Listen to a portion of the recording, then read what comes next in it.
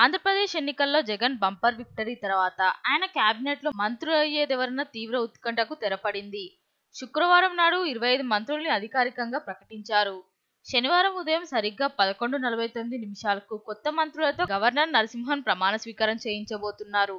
తర్వాత తొలిసారి కేబినెట్ భేటీ జరగబోతుండగా ఈ మినిస్టర్ లిస్టులో సినీ నటి నగర్ ఎమ్మెల్యే రోజా పేరు లేకపోవడం రాజకీయ వర్గాల్లో హాట్ టాపిక్గా మారింది.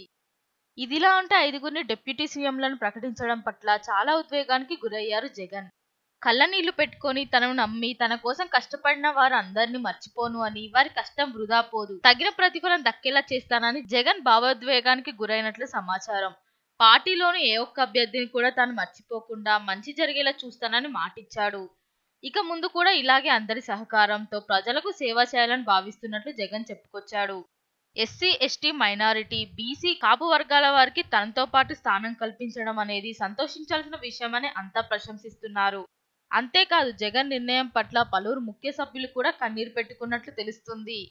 ముఖ్యంగా రోజా హ్యాట్స్ ఆఫ్ జగన్ అన్న అంటూ పెట్టిన పోస్ట్ వైరల్గా మారింది. క్యాబినెట్లో ఎప్పుడు చూసినా బడుగు బలహీన వర్గాలు రెండు మూడు స్థానాల్లోనే ఉంటారు.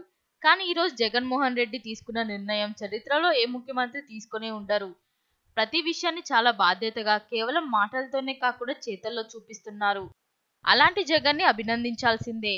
చాలా తక్కువ టైంలో చాలా మంచి నిర్ణయాలు తీసుకున్నారు. జగన్ నుంచి ఏదైతే ఆశించామో వాటిని చేసి చూపిస్తున్నారు. త్వరలో రాజన్న రాజ్యం చూడబోతున్నామని ప్రజలంతా హ్యాపీగా ఉన్నారంటూ ఆనందం వ్యక్తం చేసింది రోజా.